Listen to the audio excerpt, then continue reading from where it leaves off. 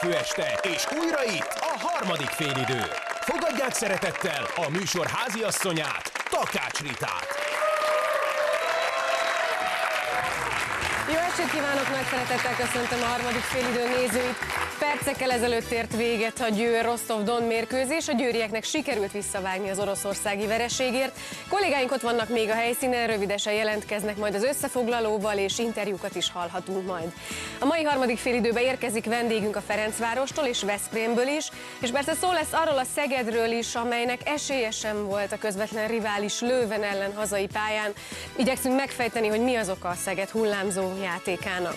Aztán jön a Real és a Barca, a Real hőse ezúttal sem Cristiano Ronaldo volt, még a Barcái nem Lionel Messi, egyébként igyekszünk majd egy kis párhuzamot vonni a két sztárcsapat játékosai között. Most azonban kézilabdával kezdünk, úgyhogy fogadják nagy szeretettel szakértőinket. Elsőként Tóth Tíme a következik.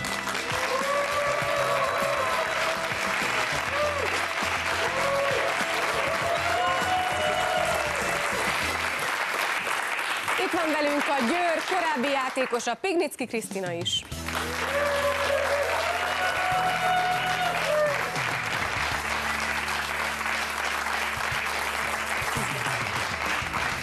És elfogadta meghívásunkat a Ferencváros irányítója Kovacsics Anikó.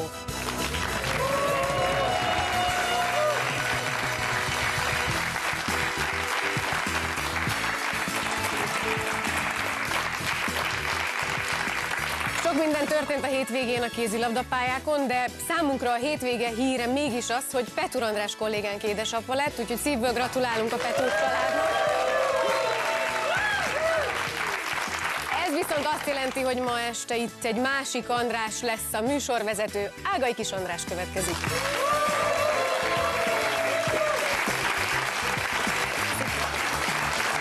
Nagyon sok szeretettel köszöntöm én is a kedves nézőket. Azon gondolkodtam idefelé jövet, hogy ugye vannak különböző méréseink, hogy hányan is néznek minket például ezen az estén, de azért ezt csak nagyjából tudjuk, egészen pontos számokat nem. Egy biztos, ma egyel több nézőnk van. Petur Andris biztos, hogy ott ül a kamera előtt. Hello Andris! És hogyha jó a nevelés, akkor már a kicsi lánya is ott van az ölében, mert hogy kell kezdeni az első napot kézilabdával. Valóban, valóban ez az első este otthon. Reméljük, hogy a pici lány is néz minket. Egyébként nálunk Nálatok a, hogy van ez otthon? A, a kisfiam azért az elejét a műsornak mindig megnézi, hiszen azért elég későn kezdődik. És mondja, hogy ott van férjem- anya? Mondja, persze, a férjem mindig elmeséli, hogy, hogy az elejét azt, azt mindig kivárják ott a képernyők előtt, aztán jön az újhozás. Jó, hát Andris beszámoltatjuk majd, hogy ők meddig bírták az első este. Kézilabdával kezdünk természetesen, méghozzá győri kézilabdával. Ahogy Rita az imént mondta, nemrég ért véget a Győr Don Rostov találkozó. Nagyon izgalmas meccs volt A külön. kérdésünkről el ne feledkezzünk. Kérdés. Van a műsornak egy kérdése természetesen ma este is. Hányadik tétmérkőzését játszott a Lionel Messi a hétvégén a Barcelona mezében? A 400-at, az 500-at, vagy pedig a 600-at? Várjuk a válaszaikat, a kérdéseiket, a hozzászólásaikat SMS-ben, e-mailen vagy a Facebookon. És azt se feledjék, hogy folytatódik a hét csapata játékunk. Ma este kiderül, hogy ki nyeri a, de a Ferencvárosra is ugyanez a feladat várt. A német Türingen érkezett a zöldfehérekhez vendégségbe. Idegenben ugye simán sikerült legyőzni a német csapatot, és a Fradival kapcsolatban is tudtuk, hogy ha megvan a győzelem, akkor megvan a továbbjutás is. Sokat gürcölt, de végül csak kiszenvedte papírforma győzelmét a Fradi a német Türingen ellen, ennek pedig meg is lett a jutalma. A zöld-fehér gárda a hátralevő két forduló eredményétől függetlenül tovább jutott a középdöntőbe. A németek elleni Dabasi parti nem csak amiatt ígérkezett országos egyesnek, mert a Fradi két hete Németországban nyert, hanem amiatt is, mert a Türingen sérülésektől tizedelt együttesét tovább húzta az ág.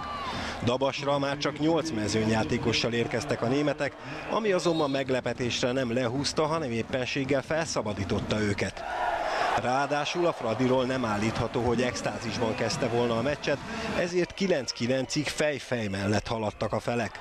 Ez eleve bosszantó volt, ráadásul a 27. percben már hárommal is vezettek a vendégek.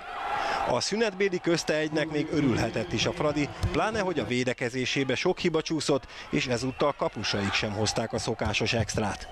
A Türingen ellenben felszabadultan nyomás nélkül kézilabdázott, kicsivel több mint negyed óra volt hátra, mire a Fradi végre megroppantotta ellenfelét. Egy támadás, hatástalanítani kell, így van! A vezetésért támadhat a Fradi. Kovacic, Van der Heyden. Gyönyörű a bejátszás, és ott van a 20 Egy gyönyörű támadás követően Snelder. 20-19 átveszi a vezetést a Ferencváros. Innentől végleg magához ragadta a kezdeményezést a magyar együttes és kicsikarta a győzelmet.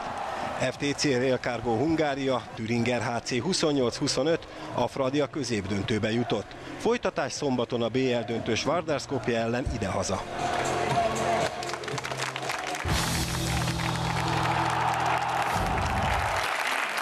Játszott jól, de nagyot küzdött a Ferencváros együttes, ennek pedig győzelem lett a jutalma. Ugye nagy menetelésen van túl a Fradi, hiszen a Türingen elleni idegenbeli győzelem után jött a Siófok és a Győri Audietó elleni bajnoki győzelem.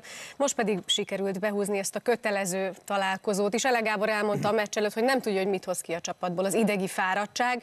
A németek pedig felszabadultan játszhattak, hiszen ők úgy jöttek ide, hogy nem sok esélyük van ezen a találkozón, és végül is erővel is bírták az utolsó 10 percig, akkor azonban sikerült megroppantani az együttest. Az egyik kulcs szereplő itt van velünk, úgyhogy halljuk most Kovacsics Anikót is a meccsre kapcsolatban. Hát akkor halljuk Anikót. Az idegi vagy a fizikai fáradtság volt a nagyobb? Én, én magamon, ha belülről nézve, akkor a fizikait jobban éreztem, de azért fejbe ott volt a csapat, mert a végén, végén tudtuk behúzni ezt a meccset. Igazából tényleg ez most ránk is azt lehet mondani, hogy felvettük a munkásruhát, és végig küzdöttünk, hajtottunk, és hát most ez így lett meg. Nem szépen, de akarva küzdve csapatként. Úgyhogy Igen, az jutott az eszembe, hogy ez egy ilyen forduló, hogy a zöld-fehér BL csapataink jól megküzdenek, megharcolnak a győzelemért. Nagy megkönnyebbülés volt azért a vége?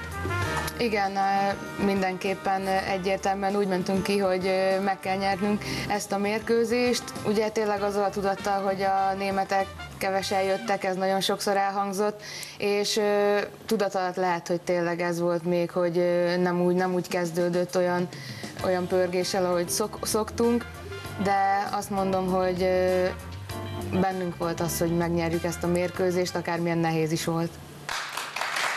Igen, és hogyha Timi tőled megkérdeztem az előbb, hogy féltetted-e a Győrt, hát akkor ugyanúgy adekvát a kérdés, hogy féltetted-e a Fradit? Tehát fél időben még a németek vezettek. Érdekes volt, izgultam persze a végén is, de hogy én is azt éreztem, és valószínű, hogy így is volt, hogy azért folyamatosan arra készültek, hogy az utolsó 10 perc 15-nek nagyon nagy fontossága lesz, és ott fontos, hogy képbe legyenek, és azért voltak jó teljesítmények, és volt gerince csapatnak, azt gondolom, akire lehetett számolni. A Nikó is többek között, Pena is jól játszott, és tényleg látszott mindenkin, hogy iszonyatosan fáradt. Tehát tényleg a lábak alig mentek, lehetett látni, hogy mindenki a tartalékait mozgosítja, de, de érezni lehetett, hogy azért a végén meg lesz. És tényleg a német csapat elfáradt. Tehát ez látható volt, hogy küzdöttek, küzdöttek, de azért, de azért felőrlődtek ebben ők is. Kriszta, te is láttad a Fradin, hogy, hogy azért most nem, meg, nem megy annyira csiszoltan minden, mint ahogy megszoktuk? Igen, hiszen kedden egy olyan hőfokú mérkőzésen verték meg a Győrt hazai pályán, amit szerintem mindenki a maximumának a maximumát adta. Utána rá négy napra egy újabb mérkőzés, BL mérkőzés, nem csak egy lefutott esetleges könnyű mérkőzés várt rájuk.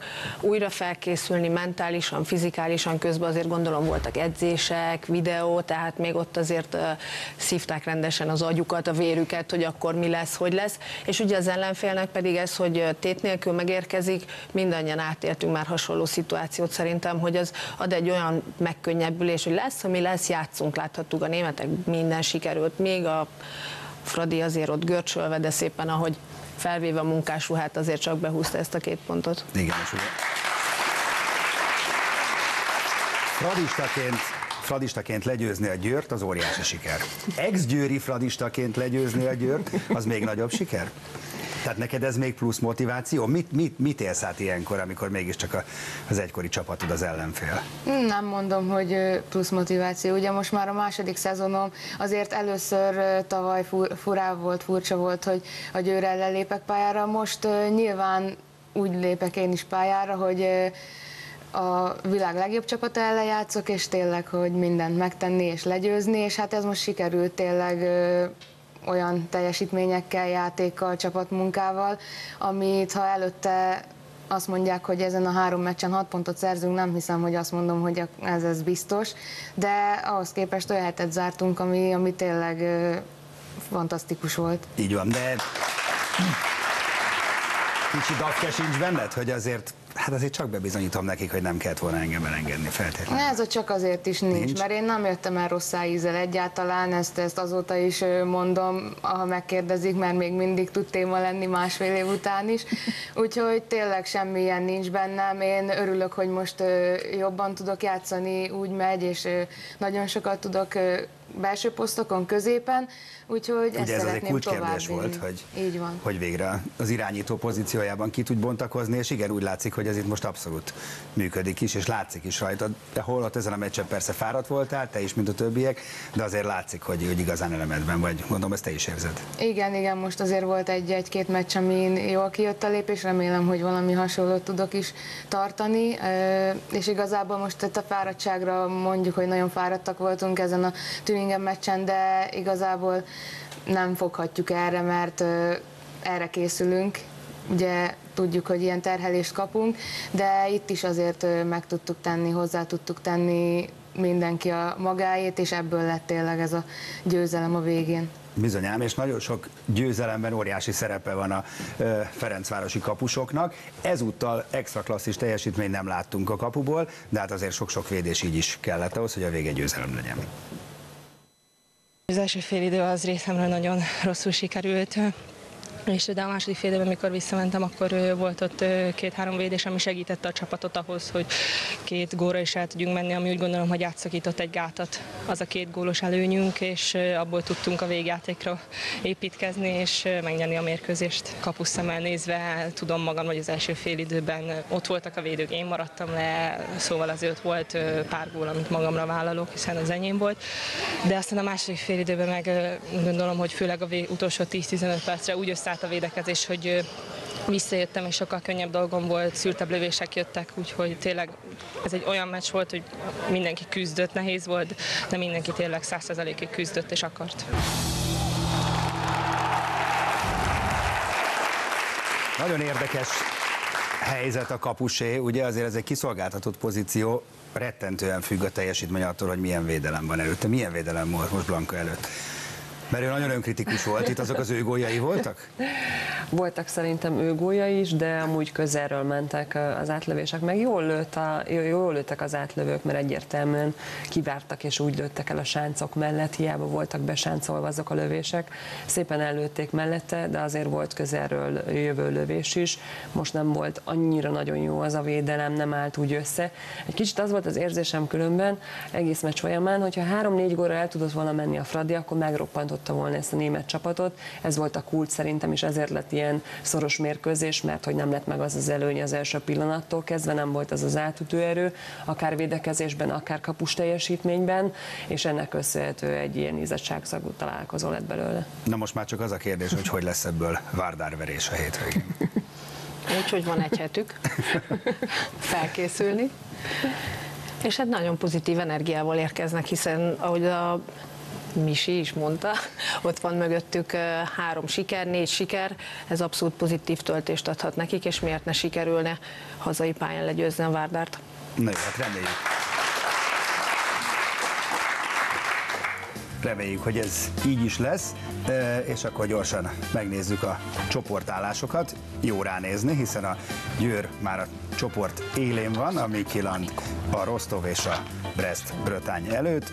Ugye Mikiland és a Győr volt ennek a fordulónak a nyertese. A Ferencváros pedig jelenleg a második helyen áll, ugye itt a Skopje vezeti a céljelű csoportot, a mostani ellenfél a Türinger a harmadik két ponttal, és a Lárvik már biztos negyedikként egyelőre pont nélkül.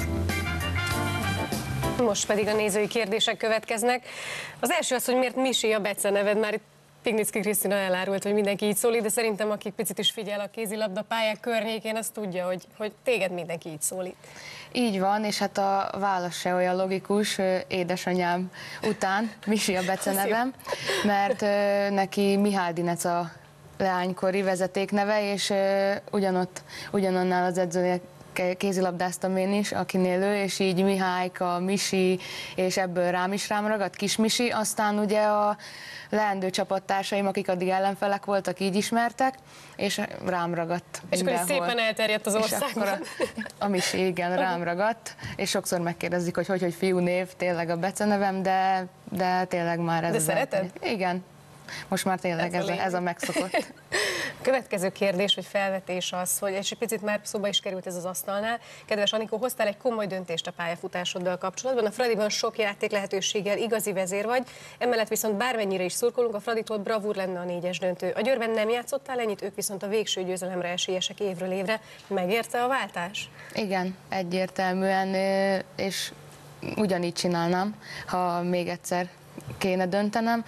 Igazából tényleg a fejlődésem érdekében az, hogy középen játszom, teljesen megérte, és hát tényleg csodaszámba menne, ha Final Fourba jutnánk egyszer, de, de az álmok megvannak.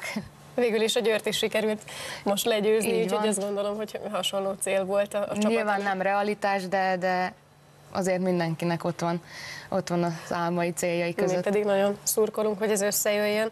Még egy dolog, a kezdeti nehézségek után elsősorban a védekezésre gondolok, nagyon jól összeállt a Ferencváros. Jó lenne állandósítani ezt a formát. Lehet egy picit kritikaként mondani a Fradira, hogy hullámzó a teljesítmény? Én azt mondom, hogy most így a szezon alapján szerintem inkább így, így egyre jobb, uh-huh. mármint így az utóbbi meccsek alapján, hogy tényleg nem indult jól, főleg a védekezéssel, és az is azért egyre-egyre jobb lesz, összeáll, dolgozunk rajta, és így az egész csapat, csapatnak a formája. Én tényleg most az utóbbi meccsekre ezt tudom kiemelni, a nagybetűs csapatot, és ez az, ami jellemzett minket tavaly is, úgyhogy ez, ez most ismét előjött hogy mindenki küzd a másikért, úgyhogy ez lehet a mi kulcsunk ismét idén, ami előre visz. Hétvégén jön tehát a Vardar elleni összecsapás, természetesen megnézhetik itt a Sport TV-n a találkozót. Anikó, nagyon szépen köszönjük, hogy eljöttél hozzánk. Ezúttal is készítettünk számodra egy rajzot emlékül. Köszönjük, és tényleg sok sikert nektek a továbbiakban. Köszönjük szépen.